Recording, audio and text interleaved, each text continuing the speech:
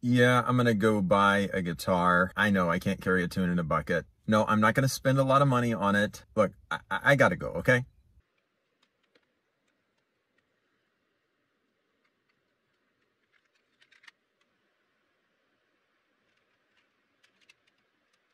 Buying the perfect guitar is easy. Just get a guitar that looks good. Of course, make sure it sounds good. Make sure the neck is straight. Check the action. And don't forget to check the intonation.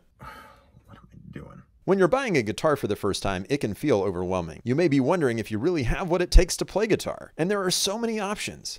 How do you know if you're buying the right guitar? Let's dive into this topic. I don't have all the answers, but here's what I would want to know if I were buying my first guitar. There are three main types of guitars acoustic guitars, classical guitars, and electric guitars. Acoustic guitars can be played without an amplifier.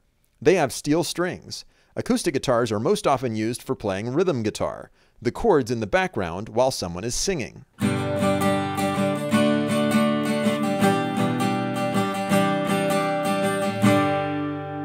Classical guitars can also be played without an amplifier. They have nylon strings instead of steel strings. This particular music store only has one classical guitar in stock. That's understandable because classical guitar is a smaller niche than acoustic guitar. Classical guitars are most often used for playing fingerstyle rather than with a pick.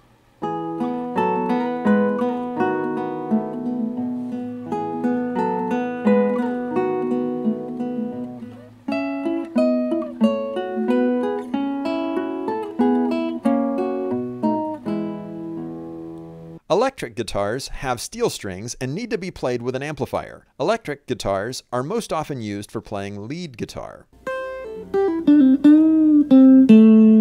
Deciding which of the three types of guitars to start with will be based on which of these three types of playing is most appealing to you. I recommend starting with either acoustic or classical to learn the natural sound of the guitar before going to electric. The nylon strings of a classical are easier on the fingers than steel strings, so that's appealing to some beginners. Whichever type of guitar you're thinking about buying, here are a few things I would consider. Look and style. This is often the first thing beginners notice. While you want to like the way your guitar looks, it's helpful to consider other factors in addition to appearance. How does the guitar sound? This may be difficult to know if you don't already play guitar, but don't worry. You can do this. One place to start is to play every fret on the guitar to check for buzzing. You can even do this with a single finger of the left hand.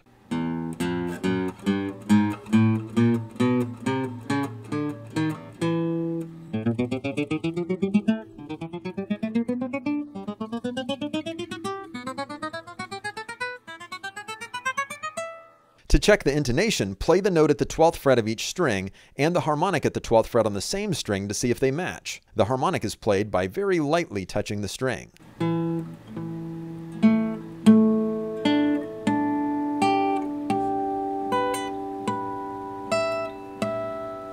Check the action by seeing how hard it is to press down the strings and how much the notes buzz when you play. You can also look to see if there are any visibly obvious problems with the guitar. You can look down the neck to see if it looks straight or if you can see any visible warping. Try tuning a string up and down to see how easy it is to turn. If you're buying an electric guitar, test the electronics on the guitar.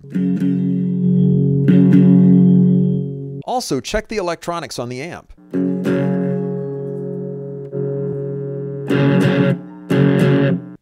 Notice whether the guitar is comfortable to hold. A guitar that's the wrong size or shape for you can be uncomfortable. You will encounter guitars in different price ranges.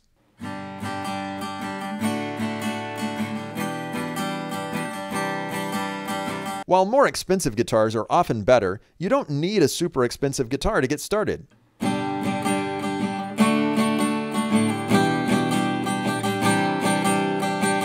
You do want a guitar that sounds decent and is not too hard to play, so you may want to avoid the cheapest guitars out there because they may get in the way of your learning.